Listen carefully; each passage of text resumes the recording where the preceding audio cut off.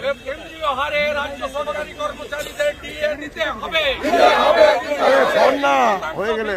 নয় উনচল্লিশ শতাংশ বকেয়া ডিএ দিতে হবে। পনেরো সাল থেকে বকেয়া এরিয়ার দিতে হবে। আরে ভাই গেমটা নষ্ট করছিস কেন? উনচল্লিশ শতাংশ ডিএ দিতে হবে।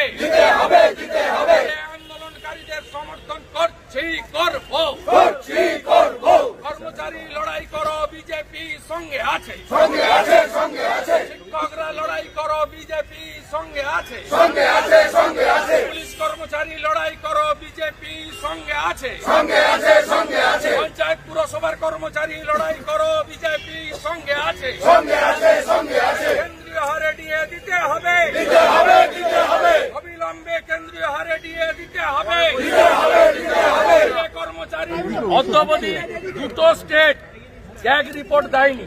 সেটা হচ্ছে কেরালা আর পশ্চিমবঙ্গ। তবুও জিএসটির যা ডিমান্ড, তার নাইনটি পার্সেন্ট রিলিজ করে দিয়েছেন কেন্দ্রীয় অর্থমন্ত্রী। নাইনটি পার্সেন্ট রিলিজ করেছেন, আর বাকি দশ পার্সেন্ট বলেছেন, ট্যাগ রিপোর্ট সাবমিট করে দিলে অডিট রিপোর্ট দিয়ে দেবে। শুধু পশ্চিমবঙ্গ, কেরালা নয়, আসামে এক সালে, একুশ বাইশের ট্যাগ রিপোর্ট জমা হয়নি তারও টেন পার্সেন্ট আটকে রেখেছে। কেন্দ্রীয় সরকার একটা নীতিতে চলে। পশ্চিমবঙ্গের মুখ্যমন্ত্রীকে আপনারা গিয়ে বলুন, অবিলম্বে সতেরো থেকে বাইশের মার্চ পর্যন্ত অডিট রিপোর্ট জমা দিতে নাইনটি পার্সেন্ট টাকা পেয়ে গেছেন ফুটিয়েও দিয়েছেন। খেলা আর মেলায়। কুলতুলিতে একশো জন অসুস্থ শুভেন্দুরা কুলতুলিতে একশো জন মিড ডে মিলের খাবার খেয়ে অসুস্থ হয়ে গেছে। কুলতুলিতে একশো জন মিড ডে মিলের খাবার খেয়ে অসুস্থ হয়ে গেছে বাচ্চা। মিড ডে মিলের টাকা থেকে যদি বাঁকুড়া পুরুলিয়াতে। মিড ডে মিলের টাকা যদি রামপুরহাটে বকডুইতে বিতরণ হয় তাহলে তো এগুলো হবেই। যেদিন কেন্দ্রীয় দল এসেছিল সেদিন মাথায় অ্যাপ্রন হাতে গ্লাভস পরেছিল।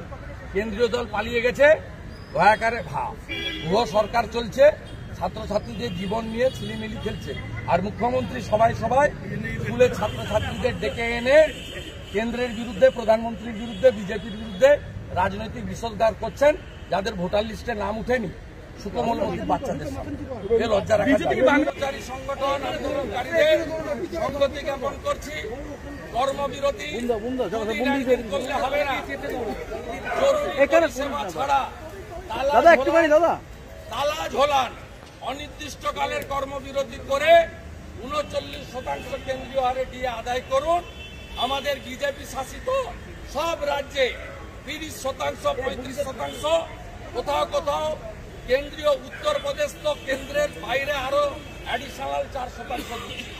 তাই পনেরো সাল থেকে বকেয়া এরিয়ার আপনাদের এই দাবি, এই আন্দোলনকে আমরা সব BJP legislature as a whole আমাদের পার্টি পূর্ণ সমর্থন করছে। লাগাতার কর্মবিরতি করে আপনাদের অধিকার আদায় করুন, আমরা আপনাদের পাশে মুখ্যমন্ত্রী বলছেন কেন্দ্রীয় সরকার